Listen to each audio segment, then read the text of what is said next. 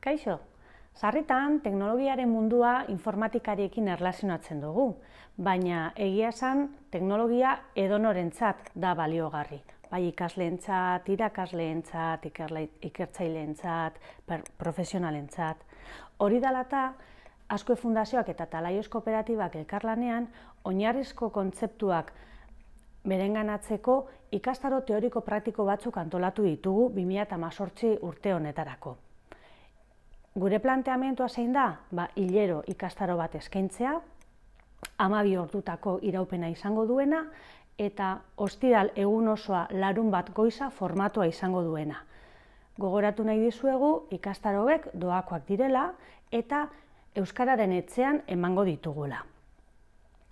Otzailean hasi eta kainerarte lehenengo bos moduluak emango ditugu. Aukeratu ditugun gaiak, ondoren adirazu dizkizudanak dira buru jabetza teknologikoa, web teknologiak, app, app inventorrekin lanean azteko astapenak, talde komunikazioa eta gaitasun digitalak. Izen ematea asko fundazioaren webunaren bitartez egingo dugu.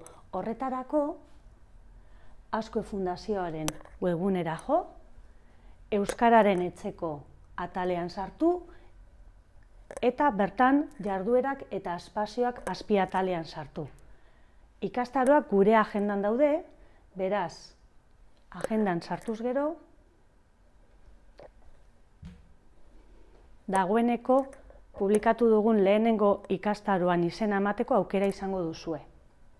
Hau da, buru jabetza teknologikoa deritxon ikastaroan otzailaren hogeita iru eta hogeita lauan emango dena. Zuen izenak emateko, formulario bat dago, eta imprimakia bete egin beharko duzue.